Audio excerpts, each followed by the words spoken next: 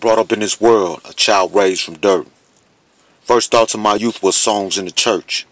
At first, it didn't hurt, then I was baptized with a stick. Last thing I remembered was chastisement till I was sick. But I lived through this for five straight years. I was dead in the dark before God gave me tears. And then it all stopped, no more adolescent thoughts. Twelve years old making moves to stop clocks. Now I got a thick chick with a fat knot. I click like black ops. The devil even supplied me with a vision of blasting cops.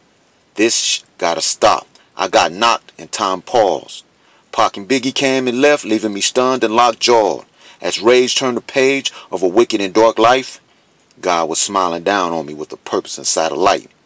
Powered up, ready to fight, mystical with a bit of trife. Now I'm making moves on the CO's ex-wife. Asked me if I'm alright, 90 degrees to the fourth flight.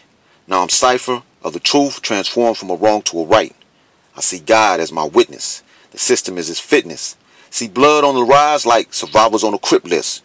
Call me blessed for the vision to all my folks that God parole. Now we all saints in heaven, and all my words done gone gold. I'm a witness.